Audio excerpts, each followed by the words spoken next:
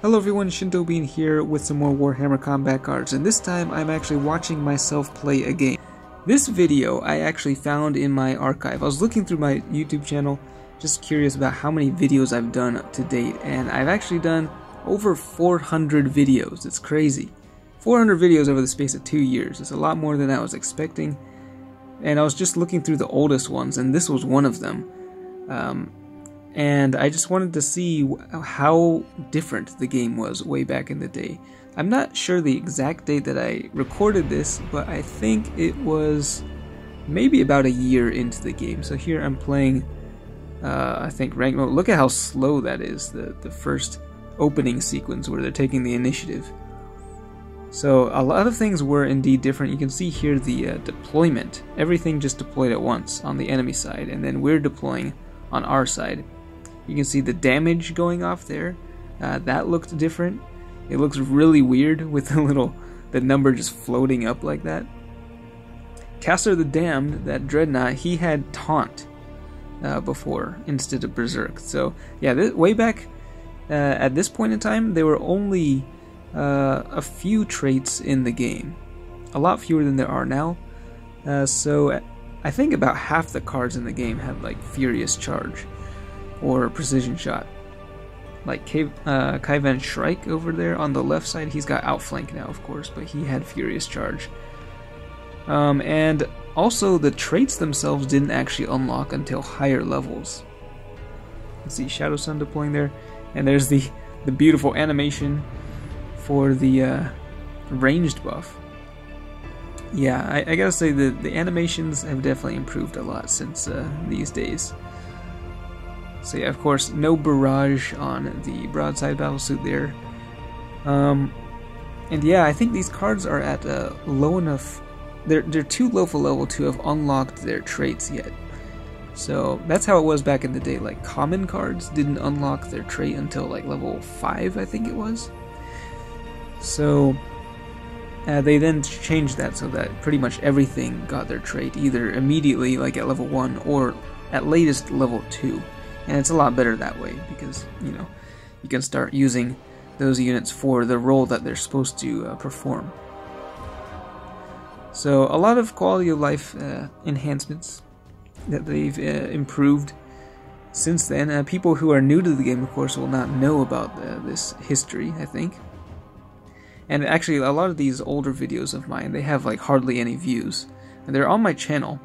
Um, so like this, actually, this video is uh, one of the ones that I never actually uh, released to the public, but I do have uh, videos that are over two years old that only have like less than 100 views.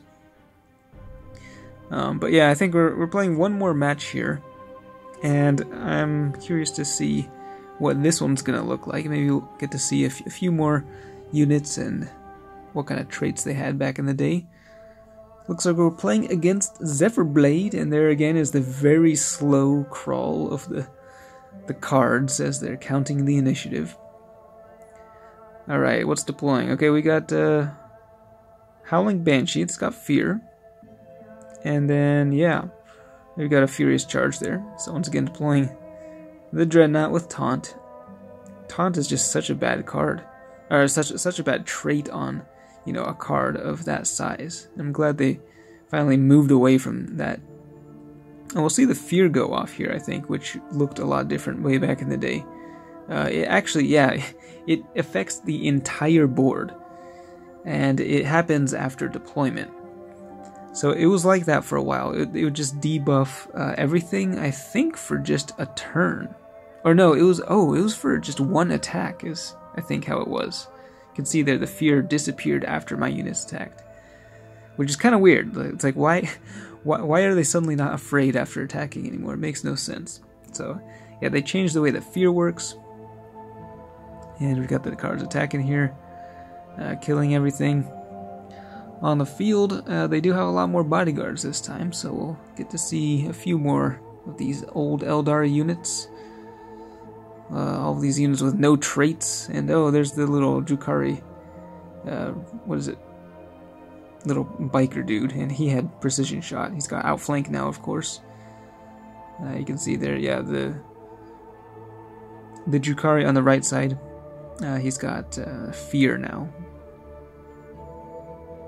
And there's the Pain Engine. Now these cards are at pretty low level. But yeah, we're just going... This deck that I had is not a very good one. I think had, what, five bodyguards with Watch Captain Artemis? And most of them are just like melee. Not sure what I was going for here. Seems to be working, at least for these matches. Jain Zar used to have uh, uh, first, or no, Furious Charge, and then the Solitaire actually used to have Fear, as you can see there. Big attack though. Very big melee attack from their end, but not enough to actually break through the ranks of these Space Marines. And yeah, the fear just went away. Again, after one uh, turn, it's just so weird. So yeah, um, I don't know if we'll actually get to look at the collection at all here. Um, wow, this game is just running slow. I think I was running this on um, my old phone and recording it on there, and I had the little like you can see in the top left the recording timer there. Here comes the Warlord with Scout. Uh, that hasn't changed by the looks of it. Uh, we've got some more fear here. We'll see where the damage goes from this. And it is 4 damage to Jain Zar. Wow. Beautiful. Oh, I, th I think um, around this time I did a video entitled The Worst Warlord in the Game, and it was Watch Captain Artemis. He was pretty bad. Um, I mean, he's still not like that amazing, I don't think, but but yeah, he was he was really bad for a while. But we're still able to win here.